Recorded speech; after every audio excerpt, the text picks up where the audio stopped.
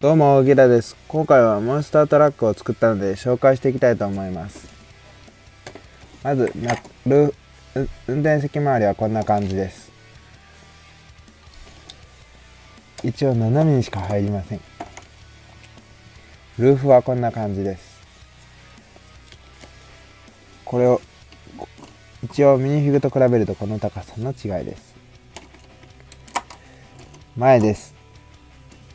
後ろです。後ろのテールライトはサボりました。すいません。でこんな感じですかね。